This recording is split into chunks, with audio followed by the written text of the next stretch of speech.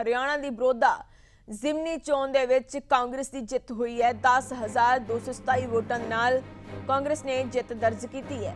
ਕਾਂਗਰਸੀ ਉਮੀਦਵਾਰ ਇੰਦੂ ਰਾਜ ਨੇ ਭਾਜਪਾ ਦੇ ਜੋਗੇਸ਼ਵਰ ਦੱਤ ਨੂੰ ਹਰਾਇਆ ਹੈ। ਜੋਗੇਸ਼ਵਰ ਦੱਤ ਨੇ ਆਪਣੀ ਹਾਰ ਕਬੂਲੀ ਕਿਹਾ। ਜਨਤਾ ਦੇ ਫੈਸਲੇ ਦਾ ਸਵਾਗਤ ਹੈ। ਹਰਿਆਣਾ ਦੇ ਵਿੱਚ ਬਰੋਦਾ ਜ਼ਿਮਨੀ ਚੋਣ ਹੋਈ, ਜਿਸ ਦੇ ਵਿੱਚ ਕਾਂਗਰਸ ਦੀ ਜਿੱਤ ਹੋਈ ਹੈ। 10227 ਵੋਟਾਂ ਦੇ ਨਾਲ ਕਾਂਗਰਸ ਨੇ ਜਿੱਤ ਦਰਜ ਕੀਤੀ ਹੈ। ਕਾਂਗਰਸ ਉਮੀਦਵਾਰ ਇੰਦੂ ਰਾਜ ਨੇ ਭਾਜਪਾ ਦੇ ਜੁਗੇਸ਼ਵਰ ਦੱਤ ਨੂੰ ਇਹਨਾਂ ਚੋਣਾਂ ਦੇ ਵਿੱਚ ਹਰਾਇਆ ਤੇ ਜੁਗੇਸ਼ਕਰ ਜੁਗੇਸ਼ਵਰ ਦੱਤ ਨੇ ਆਪਣੀ ਹਾਰ ਕਬੂਲੀ ਕਿਹਾ ਕਿ ਉਹਨਾਂ ਨੂੰ ਜਨਤਾ ਦਾ ਫਤਵਾ ਕਬੂਲ ਹੈ ਤੇ ਜਨਤਾ ਦੇ ਫੈਸਲੇ ਦਾ ਸਵਾਗਤ ਕਰਦੇ ਨੇ। ਜੁਗੇਸ਼ਵਰ ਦੱਤ ਹਾਰ ਕਬੂਲ ਗਈ ਹੈ। ਦੂਸਰੀ ਵਾਰ ਜੁਗੇਸ਼ਵਰ ਦੱਤ ਚੋਣ ਹਾਰੇ ਨੇ। ਪਹਿਲਾਂ ਵੀ ਚੋਣ ਹਾਰ ਗਏ ਸੀ, ਹੁਣ ਫਿਰ ਜੋਗੇਸ਼ਵਰ ਦੱਤ ਨੇ ਚੋਣ ਹਾਰ ਦਿੱਤੀ ਹੈ। ਕਾਂਗਰਸੀ ਉਮੀਦਵਾਰ ਇੰਦੂ ਰਾਜ ਨੇ ਉਹਨਾਂ ਨੂੰ ਕਰਾਰੀ ਸ਼ਿਕਸਤ ਦਿੱਤੀ ਹੈ। ਬਰੋਦਾ ਦੇ ਵਿੱਚ ਜ਼ਿਮਨੀ ਚੋਣ ਹੋਈ ਸੀ। ਹਰਿਆਣਾ ਜ਼ਿਲ੍ਹੇ ਦਾ ਬਰੋਦਾ ਵਿਧਾਨ ਸਭਾ ਸੀਟ, ਜਿੱਥੇ ਭਾਜਪਾ ਉਮੀਦਵਾਰ ਤੇ ਪਹਿਲਵਾਨ ਜੁਗੇਸ਼ਵਰ ਦੱਤ ਨੂੰ ਇੱਕ ਵਾਰ ਫਿਰ ਤੋਂ ਹਾਰ ਦਾ ਸਾਹਮਣਾ ਕਰਨਾ ਪਿਆ। ਕਾਂਗਰਸੀ ਉਮੀਦਵਾਰ ਇੰਦੂ ਰਾਜ ਨਰਵਾਲ ਨੇ ਜੁਗੇਸ਼ਵਰ ਦੱਤ ਨੂੰ ਚੋਣ ਅਖਾੜੇ ਦੇ ਵਿੱਚ ਕਰਾਰੀ ਮਾਤ ਦਿੱਤੀ ਹੈ।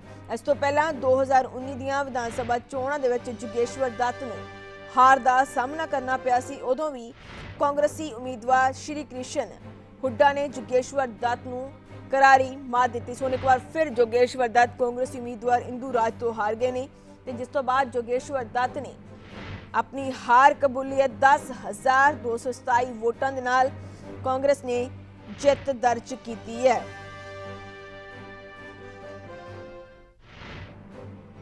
ਦਸ ਹਜ਼ਾਰ 227 ਵੋਟਾਂ ਦੇ ਨਾਲ ਕਾਂਗਰਸ ਨੇ ਇੱਥੇ ਜਿੱਤ ਦਰਜ ਕੀਤੀ ਹੈ ਸੋਨੀਪਤ ਦੇ ਬਰੋਦਾ ਹਲਕੇ ਤੋਂ ਜ਼ਿਮਨੀ ਚੋਣ ਹੋਈ ਜਿਸ ਦੇ ਵਿੱਚ ਕਾਂਗਰਸ ਦੀ ਜਿੱਤ ਹੋਈ ਹੈ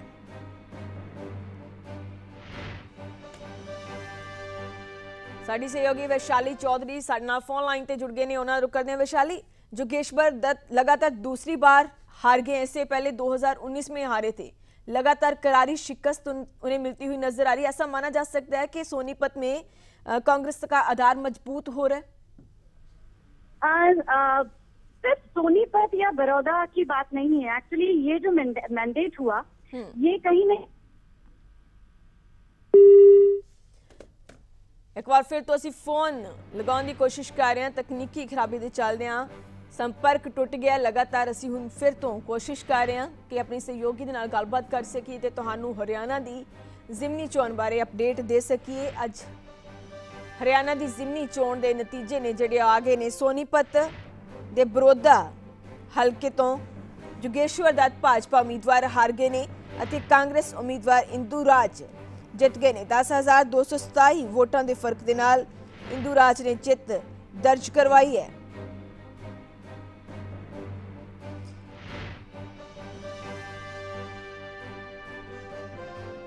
ਅੱਜ ਸਵੇਰੇ ਅੱਜ ਸਵੇਰੇ 8 ਵਜੇ ਬਾਈਪੋਲ ਹੋਇਆ ਸੀ। तो उस तो बाद लगातार नतीजे आते नज़र बनाई हुई है। हरियाणा के सोनीपत के बरोदा हल्के तो इंदूराज ने भाजपा के उम्मीदवार जोगेश्वर दत्त को हरा दिता है। एक बार फिर तो सहयोगी वैशाली चौधरी फ़ोन लाइन से जुड़ गए हैं वैशाली।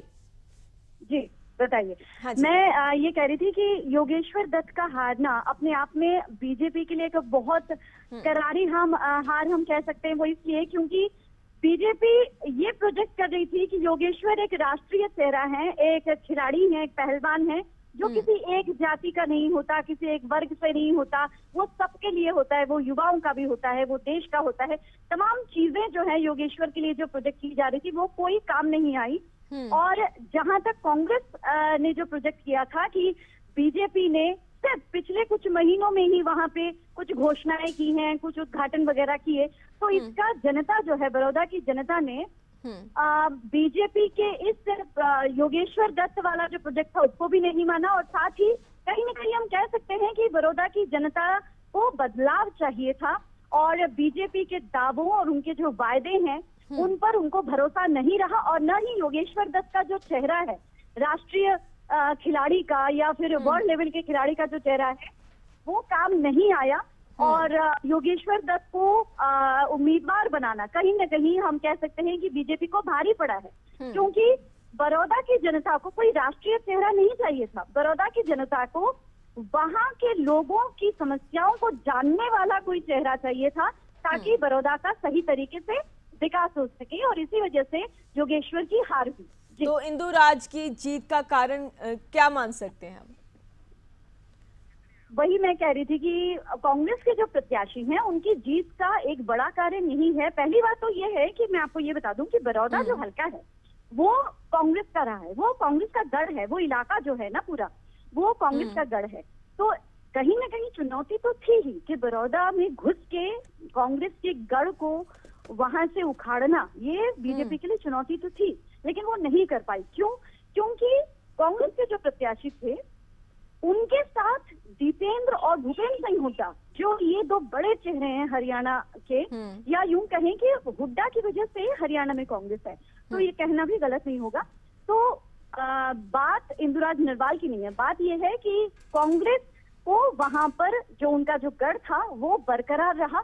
हम्म, आ, हम ये कह सकते हैं कि इंदुराज नरवाल आपको बता दूँ कि वैसे कोई बड़ा चेहरा तो वहाँ था ही नहीं। इंदुराज नरवाल को वैसे कोई जानता भी नहीं था।